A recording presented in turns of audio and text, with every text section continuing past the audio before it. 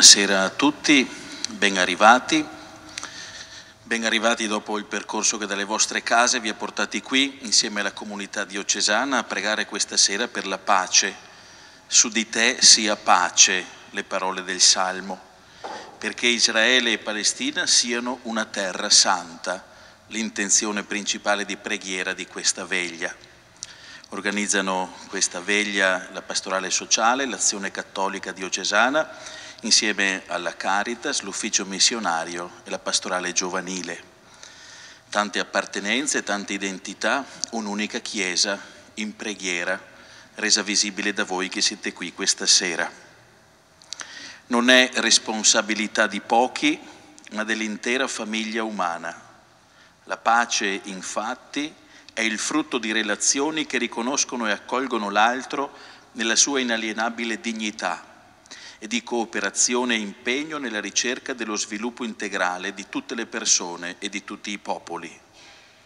La mia preghiera all'inizio del nuovo anno è che il rapido sviluppo di forme di intelligenza artificiale non accresca le troppe disuguaglianze e ingiustizie già presenti nel mondo, ma contribuisca a porre fine a guerre e conflitti e ad alleviare molte forme di sofferenza che affliggono la famiglia umana possano i fedeli cristiani, i credenti di varie religioni, gli uomini e le donne di buona volontà collaborare in armonia per cogliere le opportunità e affrontare le sfide poste dalla rivoluzione digitale e consegnare alle generazioni future un mondo più solidale, giusto e pacifico.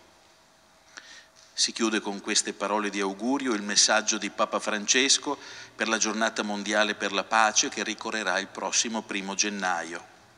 Il tema del messaggio, come abbiamo sentito, riguarda l'uso dell'intelligenza artificiale e della tecnica nell'industria bellica e di come invece questi strumenti potrebbero essere a servizio della pace. Allo stesso tempo, sullo sfondo emerge ciò che sta a cuore anche a noi stasera la situazione dei crescenti conflitti nel mondo e in modo particolare in quella che chiamiamo terra santa. Una terra che è santa perché è il luogo del Natale, della vita, della morte e della risurrezione di Gesù. E tuttavia una terra segnata da divisioni, da violenza, da guerra.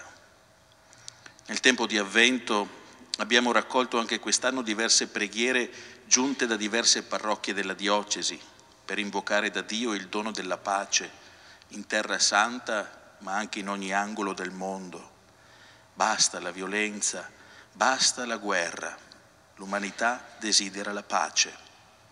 Il bambino di Betlemme torni a ricordarci e a ricordare a tutti che solo la pace che Egli ci ha donato può diventare promessa di futuro per l'intera umanità. Se siamo in piedi, uniamo le nostre voci nel canto venite fedeli con cui diamo inizio a questa veglia.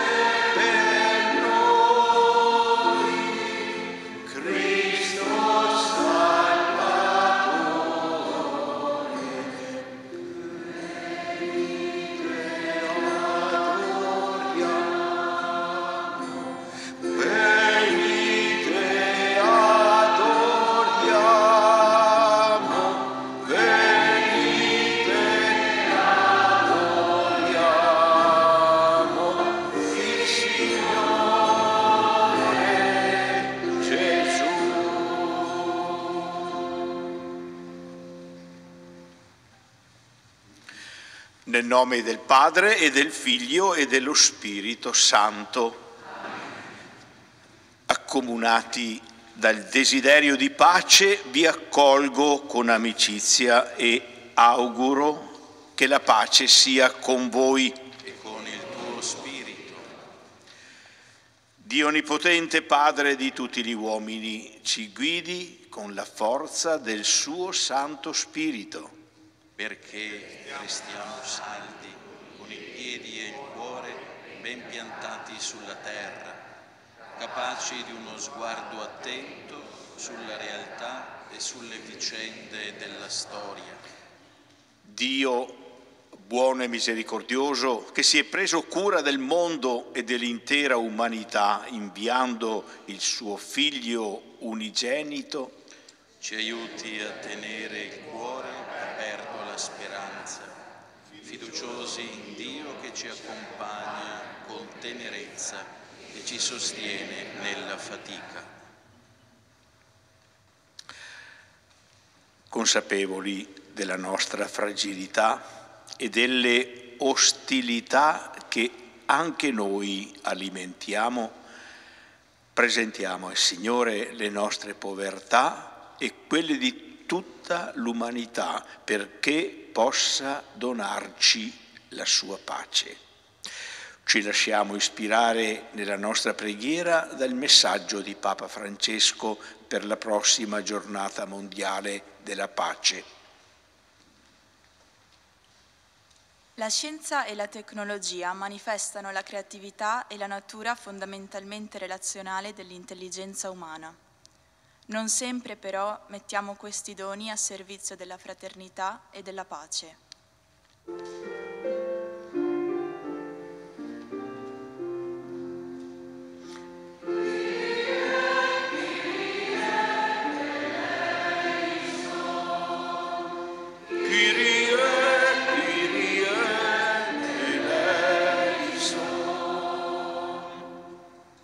Guardando la realtà che ci circonda, non possiamo sfuggire alle gravi questioni etiche legate al settore degli armamenti. Mentre molte persone vivono sulla soglia e sotto la soglia della povertà, molte risorse economiche vengono investite nella produzione delle armi e in una cultura di morte.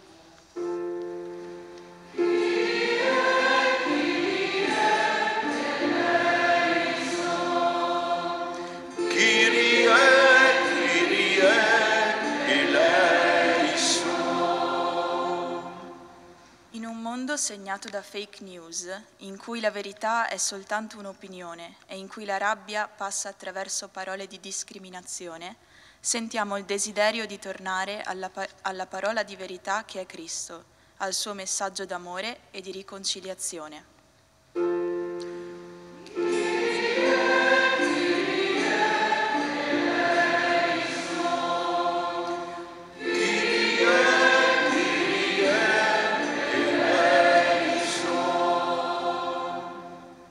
Responsabilità di governo anche a livello internazionale non sempre ha uno sguardo attento al bene e al progresso di tutti i popoli. Cresca la sensibilità per costruire non una società di soci, ma una comunità di fratelli.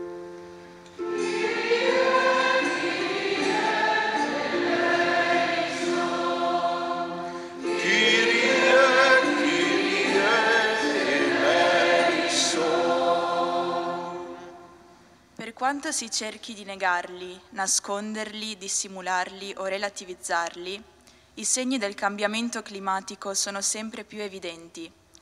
Ancora una volta, chi è più povero maggiormente patisce le conseguenze degli stili di vita di chi è più abbiente.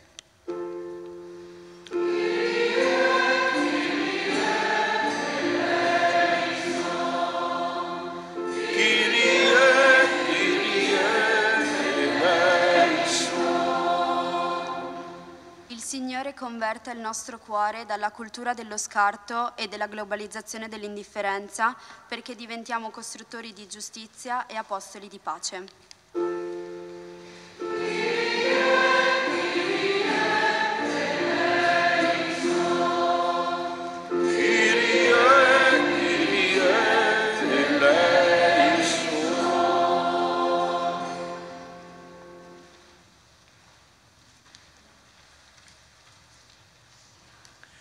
Preghiamo.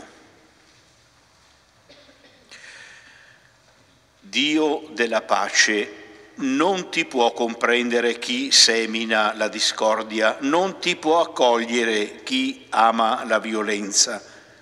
Dona a chi edifica la pace di perseverare nel suo proposito e a chi la ostacola di essere sanato dall'odio che lo tormenta, perché tutti si ritrovino in te, che sei la vera pace.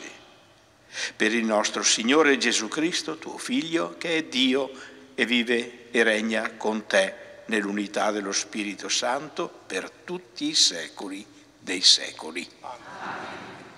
Restiamo ancora qualche istante in piedi, dopo aver invocato il perdono di Dio e aver affidato a Lui la nostra vita e quella dell'umanità, chiediamo ora nel canto il dono dello Spirito Santo, perché trasformi le durezze del nostro cuore con la forza del suo amore.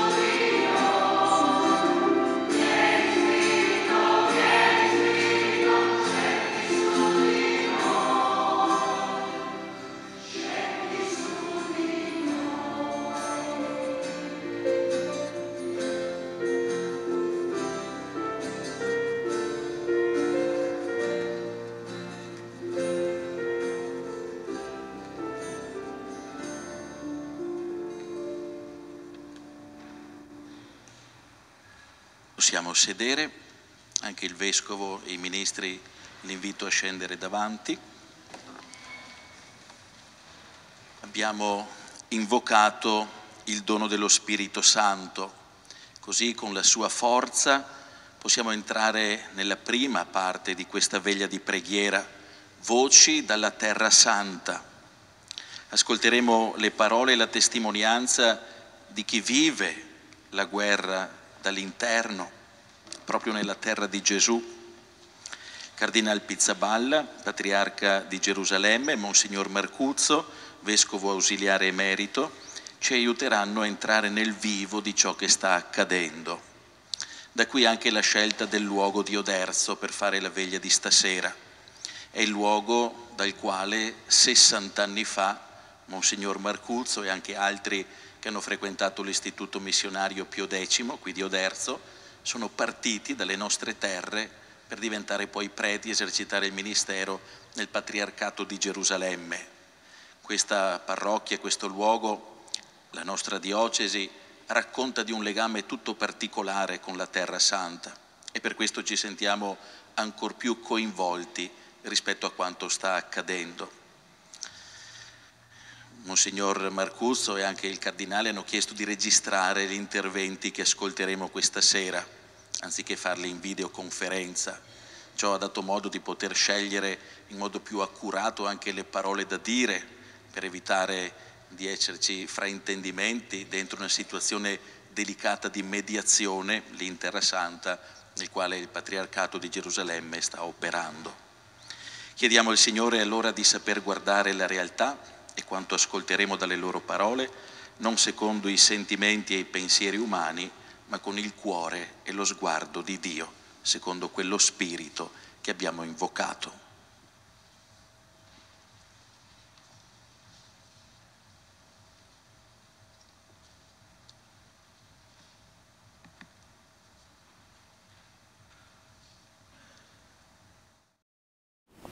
Carissimi amici e amiche della diocesi di Vittorio Veneto, amici della Caritas di Vittorio Veneto, saluto tutti voi, saluto il vostro Vescovo Corrado e, mm, e, e tutti eh, mm, voi che siete riuniti qui in questo momento di vicinanza e di solidarietà con tutti coloro che soffrono, in particolare con, con i cristiani di Terra Santa e ancora più in particolare con i cristiani di Gaza.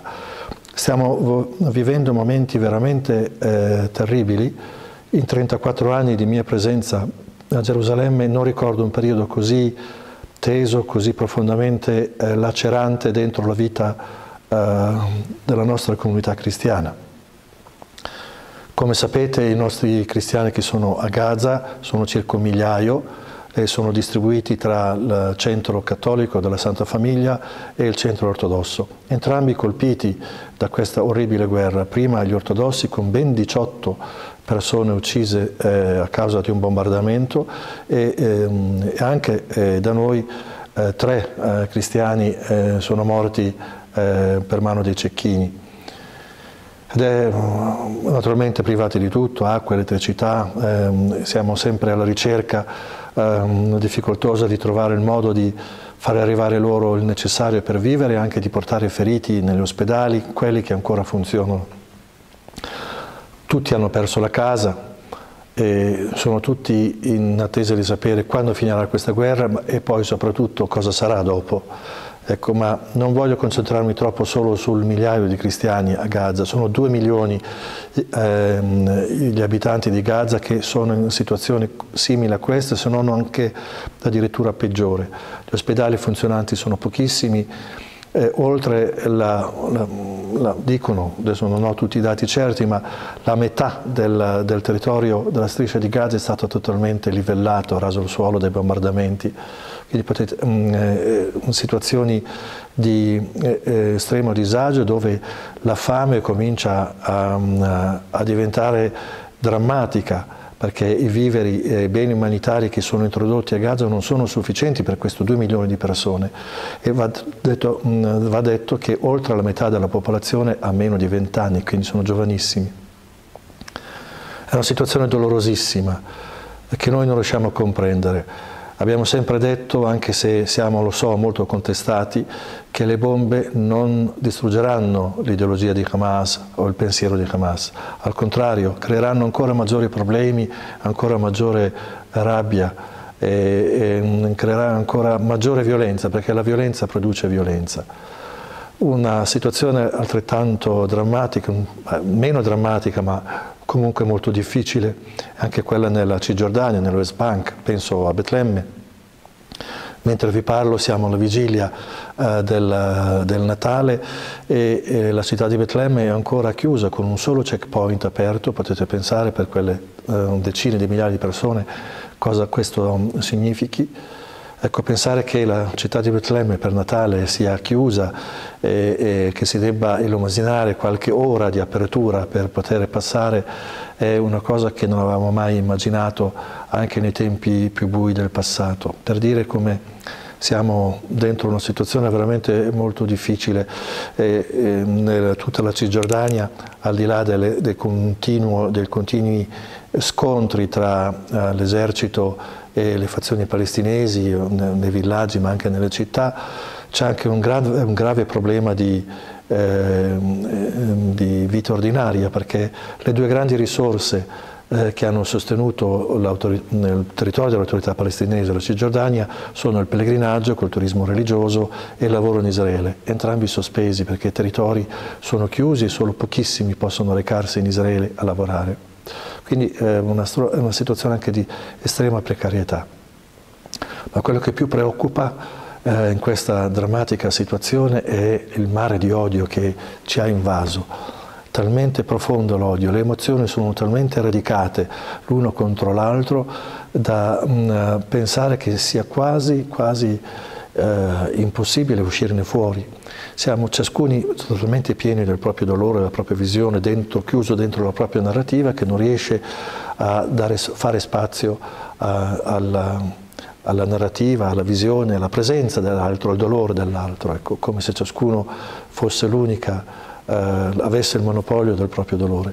Una situazione molto difficile eh, dove è anche molto difficile intervenire, parlare, dire una parola eh, che apra prospettive, eh, che apra orizzonti.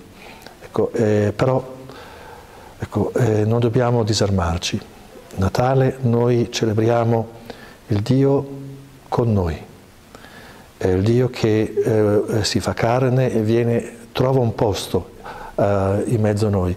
A Natale abbiamo ascoltato la notte di Natale un passaggio eh, eh, significativo per noi in questo momento del Vangelo, non c'era posto per loro nell'albergo. Ecco, sembra proprio che sia difficile fare posto in, questo, eh, in questa nostra terra all'altro, ma Dio ci dice nella persona di Gesù che è possibile, ecco, che è possibile ricominciare, ripartire, tenendo presente gli errori del passato, i nostri fallimenti, là dove non siamo stati capaci di costruire eh, qualcosa di bello e positivo per tutti e per, per gli altri.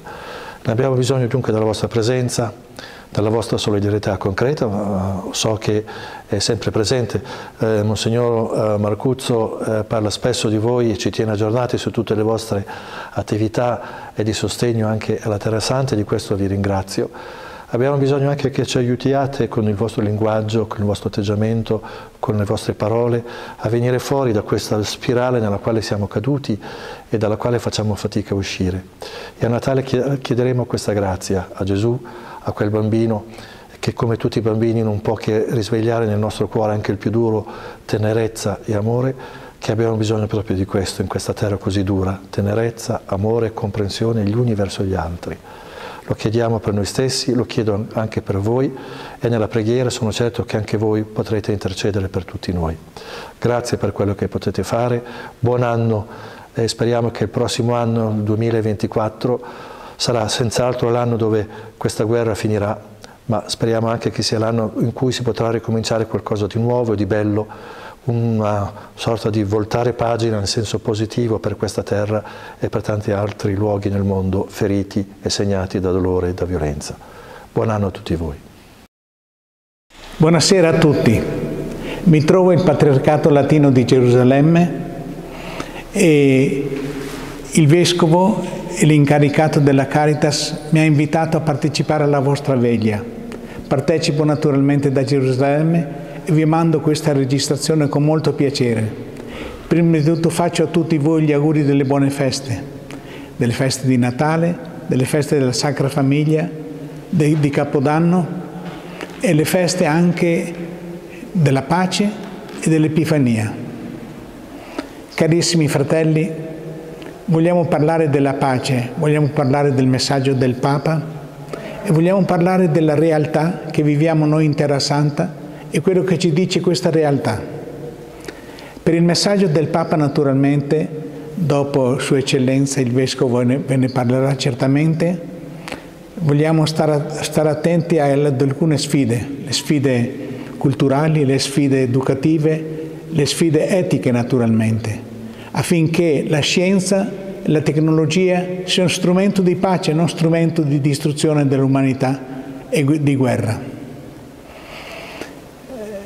guardando la realtà, la realtà della Terra Santa, siamo veramente in una tragedia e un dramma.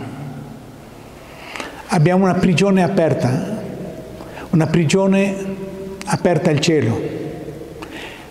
Abbiamo 2, milioni e 300 mila persone veramente chiuse in questa striscia di Gaza senza nessun collegamento con l'esterno, senza viveri, senza acqua, senza connessione con l'esterno, senza medicine. È veramente un grande dramma e una grande tragedia per la nostra terra, per la Palestina e per Israele.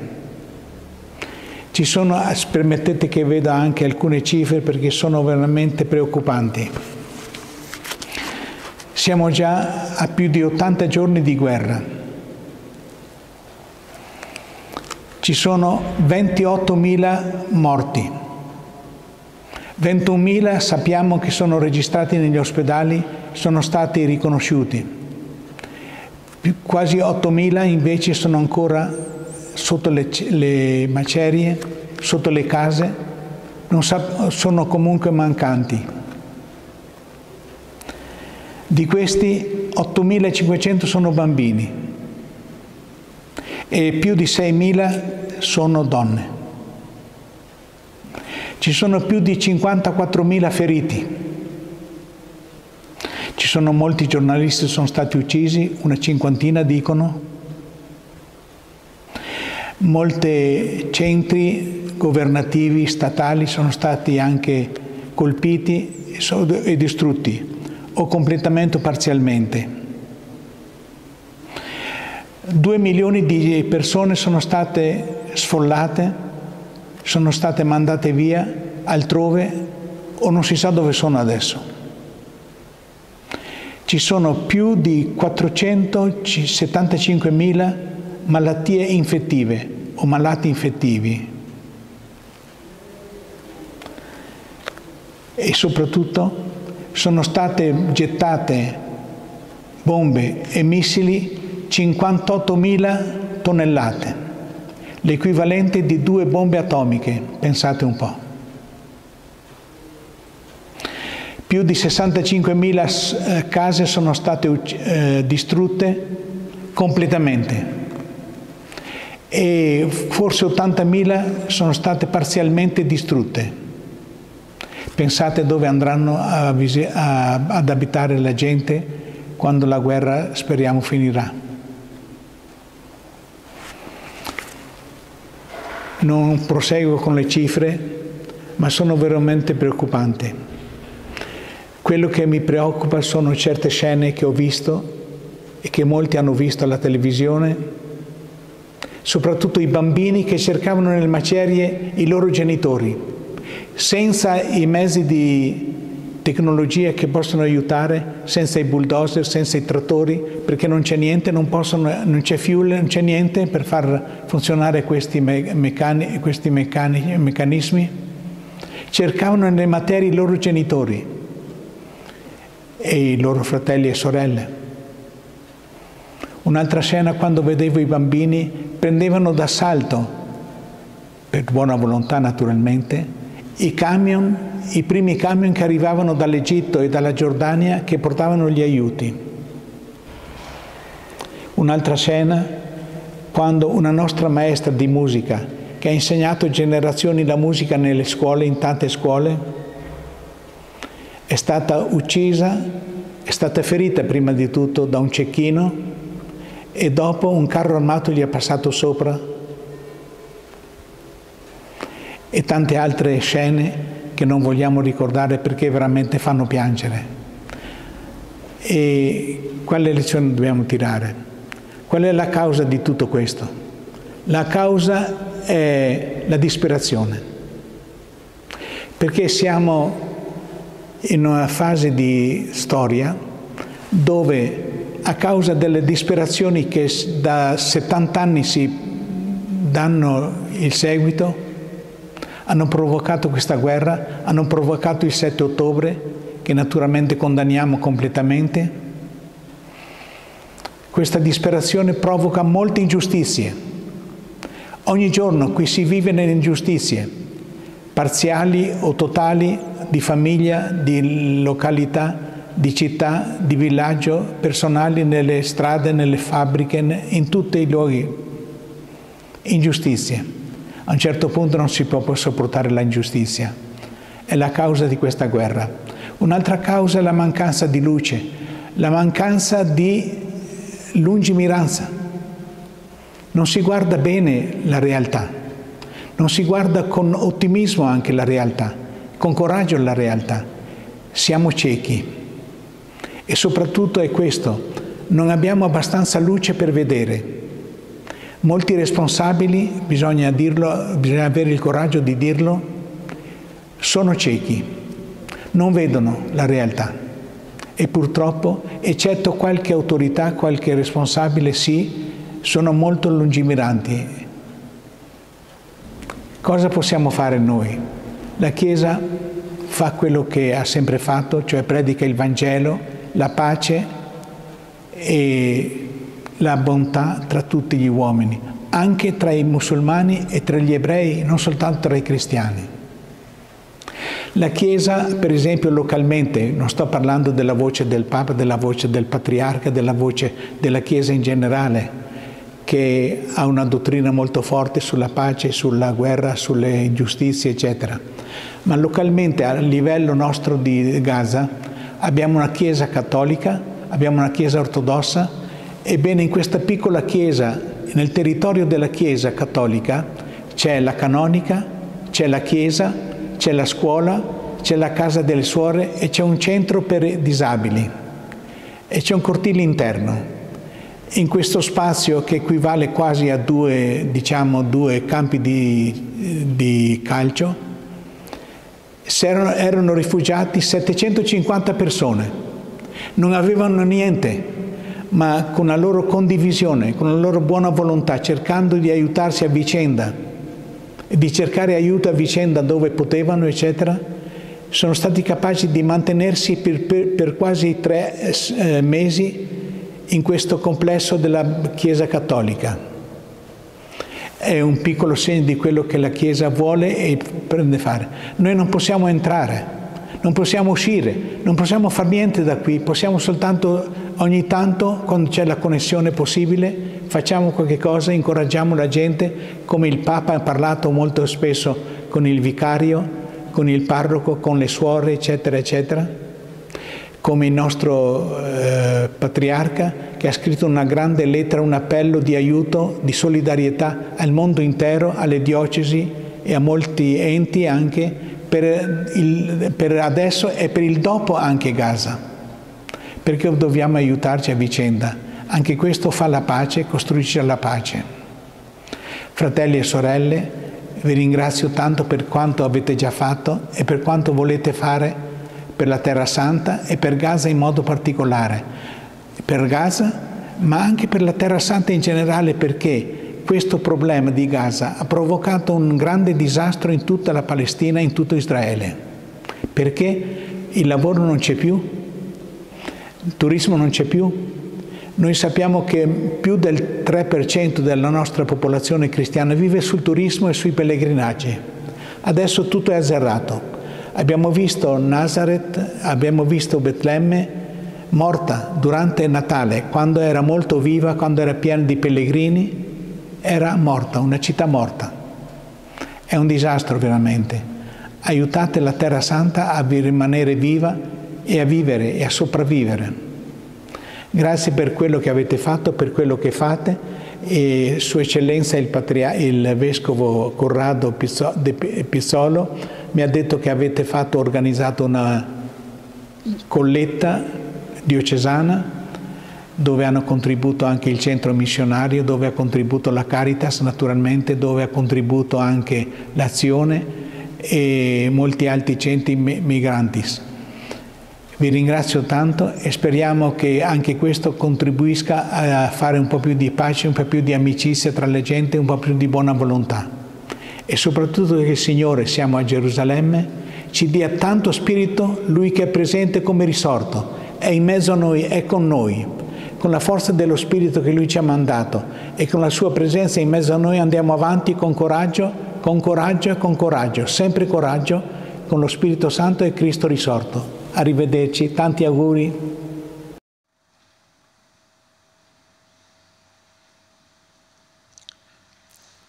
Salutiamo peraltro il Vescovo Marcuzzo che ci sta seguendo in diretta tramite la tenda TV. Sono parole dure, forti, quelle che abbiamo ascoltato dal Patriarca e da Monsignor Marcuzzo, che ci riportano con crudezza alla realtà che lì stanno vivendo. Non c'era posto per loro nell'alloggio, non abbiamo lavorato a sufficienza perché ognuno sappia accogliere l'altro, ha detto il cardinale Pizzaballa. Tuttavia entrambi hanno sottolineato, pur con fatica, anche dei segni di speranza, la speranza del Natale, la speranza della risurrezione, la speranza di una umanità nuova che possa crescere nella fraternità e nella pace. Sostiamo ancora qualche istante in silenzio ricordando quanto abbiamo appena ascoltato e poi insieme ci uniamo nella preghiera che si fa canto.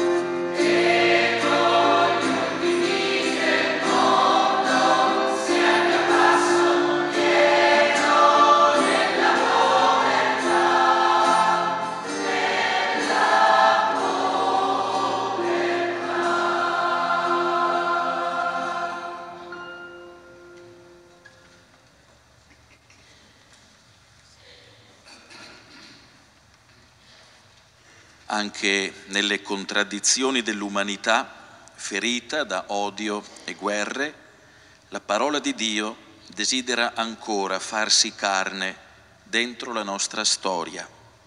E questo è il senso del Natale che stiamo celebrando in questi giorni. Ci alziamo in piedi e acclamiamo la parola di Dio con il canto.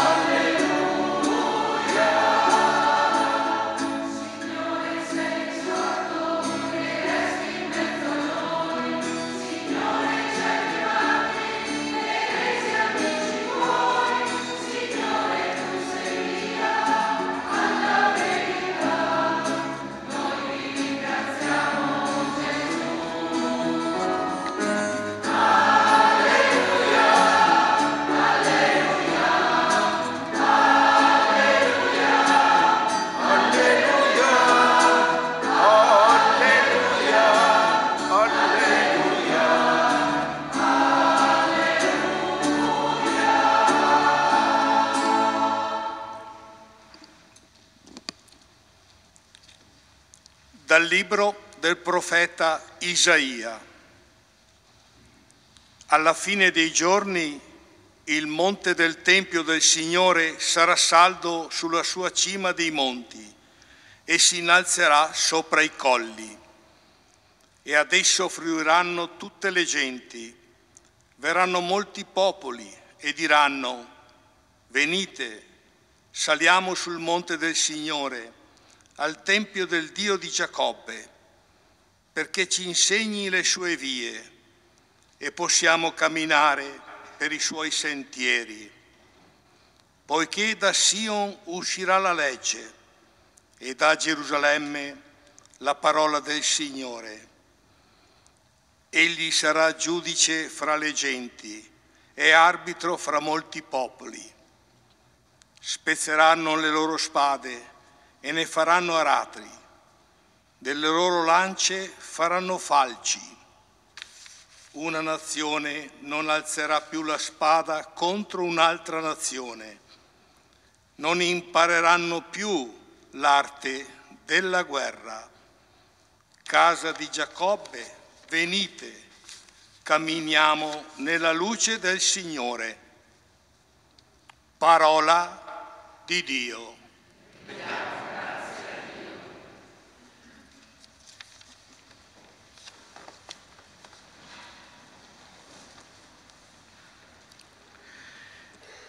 Stiamo celebrando questa veglia di preghiera per la pace, come ricordava Don Andrea all'inizio, nel Duomo di Oderzo. Dal momento che mettiamo in primo piano la preghiera per la pace in Terra Santa, senza ovviamente dimenticare tante altre guerre tuttora in atto nel mondo, a cominciare da quella in Ucraina. Ma ripeto, ponendo in primo piano la pace in Terra Santa, non possiamo dimenticare l'esperienza straordinaria, davvero straordinaria, che proprio di qui è partita. Tutti avrete sentito parlare, l'ha ricordato poco fa Don Andrea, di questa esperienza partita dall'intuizione di Monsignor Visintin, che era parroco di Oderzo per molti anni, di prima parte del Novecento, dalla sua intuizione e dalla risposta generosa di tanti giovani che da qui sono partiti poco più che adolescenti, per la Terra Santa, per offrire in dono la loro gioventù, la loro fede, il loro ministero nella Chiesa del Patriarcato Latino di Gerusalemme, concretamente tra i palestinesi, perché proprio tra loro era diffusa la fede cattolica. Ormai sono rimasti vivi in pochi, Don Aldo Tolotto da Motta, che lavora in Giordania, Monsignor Giacinto Marcuzzo, originario di San Polo, che abbiamo appena ascoltato, Monsignor Ilario Antoniazzi, originario di Rai, di San Polo, e nominato qualche anno fa vescovo di Tunisi, e infine Don Pierino Felet di Vittorio Veneto che lavora a servizio della conferenza episcopale del Medio Oriente, risiedendo anche lui tuttora in Palestina. Ma oltre a questi quattro che sono tuttora viventi, sono stati molti, almeno una ventina e anche più, i preti partiti da ragazzi, diventati preti in Palestina, partiti da questi paesi dell'Opitergino e anche qualcuno da più lontano e che hanno vissuto fino alla morte in Palestina operando per la fede e per la pace. Proprio così. Possiamo veramente dirlo, preti davvero molto, molto zelanti nel loro ministero, ma che hanno sempre lavorato per la pace, per il dialogo, per il superamento delle tensioni che non sono nate ora, sono di molti anni. Soprattutto ha lavorato per la difesa dei più poveri e dei più deboli, tant'è vero che erano molto amati da tutti, non solo dai palestinesi cattolici, ma anche da quelli di altre confessioni religiose, dagli stessi islamici, uomini di comunione uomini di pace. E ciò che mi ha particolarmente colpito dalle testimonianze sentite su di loro è stato la forte sensibilità spirituale e di preghiera che ha contraddistinto il loro ministero. Uomini di carità e di azione e contemporaneamente uomini di profonda e fedele preghiera. Uomini, possiamo dire, che hanno capito, fatto proprie e attuato le parole del profeta. Venite, saliamo al monte del Signore perché Egli, Egli ci insegni le sue vie e possiamo camminare per i suoi sentieri. Perché molte volte i sentieri degli uomini non vanno per i sentieri della pace, ma per i sentieri della violenza, convinti che questa produca frutti, cosa che in realtà, lo sappiamo bene, non è così. Io credo che proprio da queste persone noi dobbiamo imparare molto. Anzitutto l'ascolto della voce del Signore, che nel loro caso li ha chiamati a fare della loro vita un dono, ma che chiama anche noi a fare della nostra vita un dono e non un, un possesso ingordo da difendere con le unghie e con i denti, difendendolo ad ogni costo, un dono. Secondo, la preghiera, la preghiera insistente.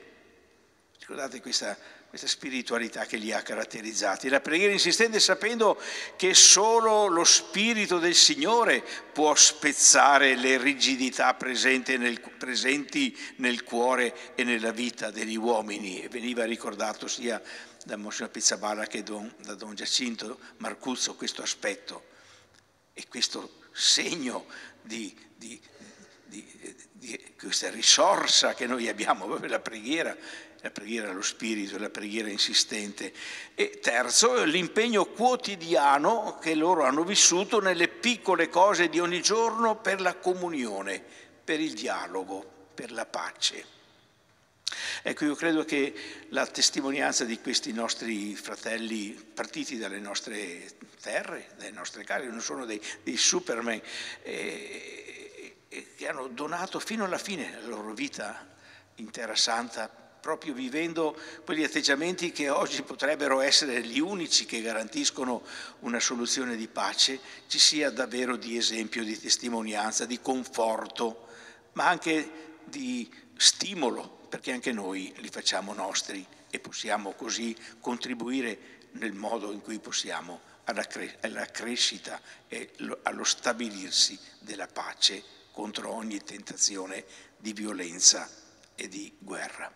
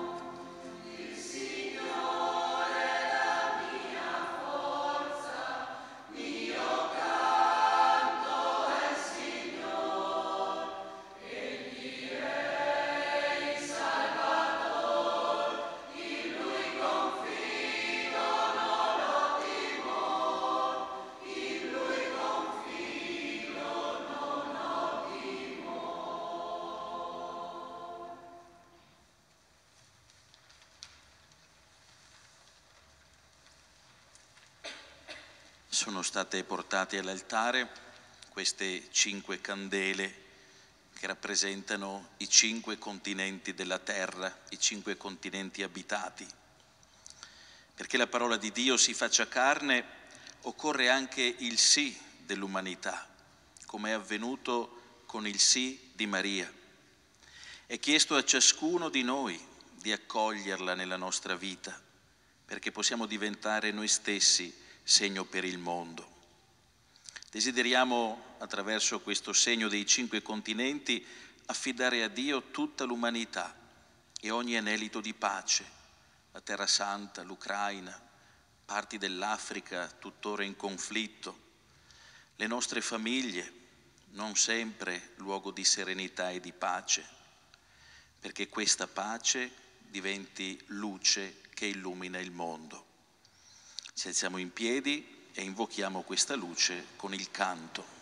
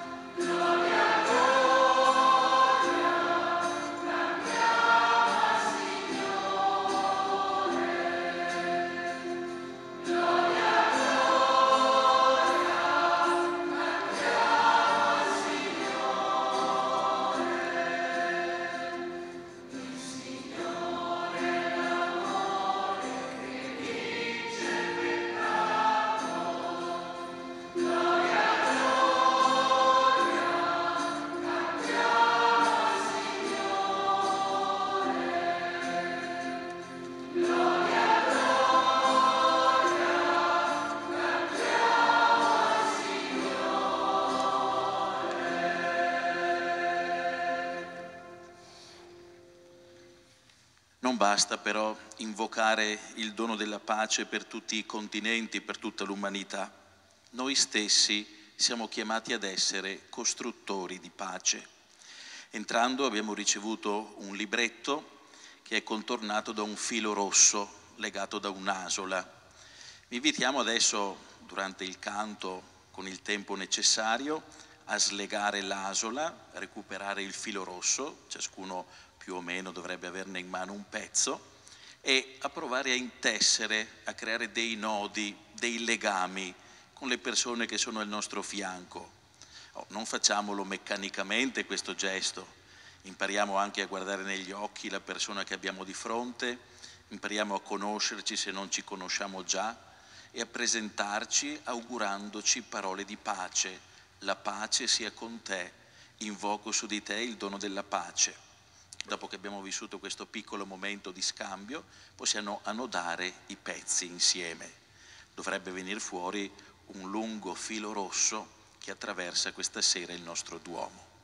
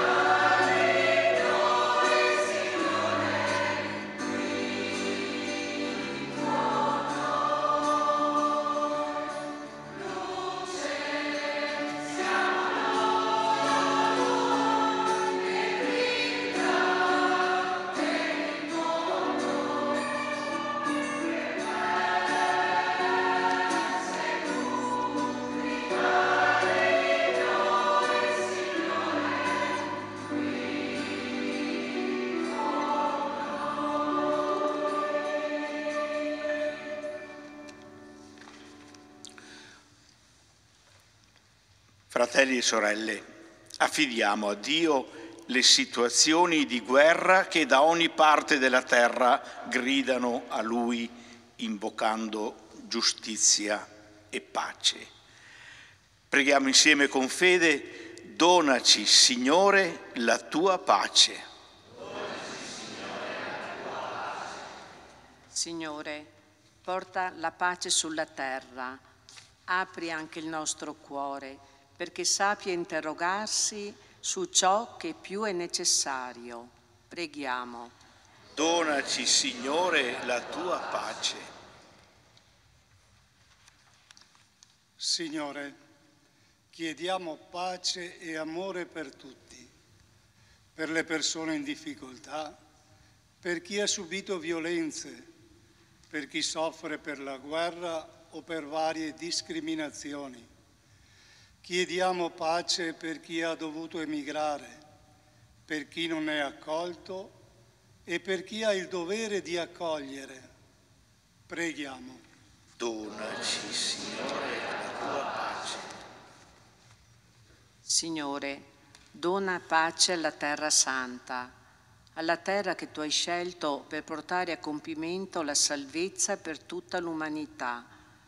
Nasca un nuovo germoglio di fraternità tra i popoli. Preghiamo.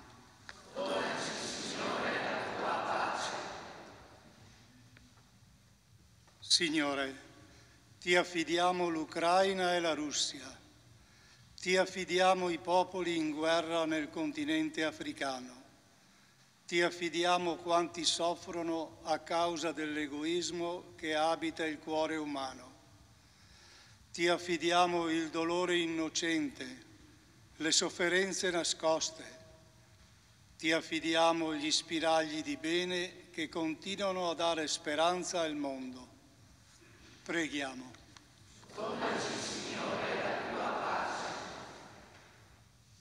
Signore, Donaci il coraggio dei piccoli passi, poiché per la pace basta poco. Donaci tempo da offrire, gentilezza da dimostrare, parole docili da condividere. Fa che sappiamo porre fine ai nostri litigi per camminare insieme su passi di pace. Preghiamo.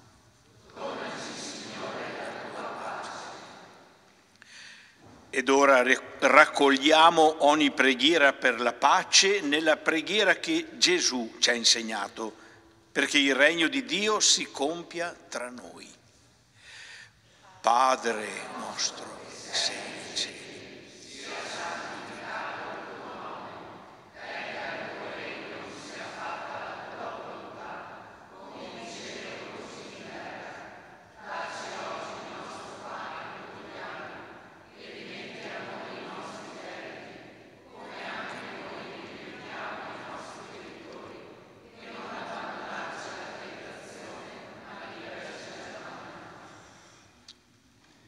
Siamo davanti a te, o oh Signore. In noi c'è buio, in te c'è luce.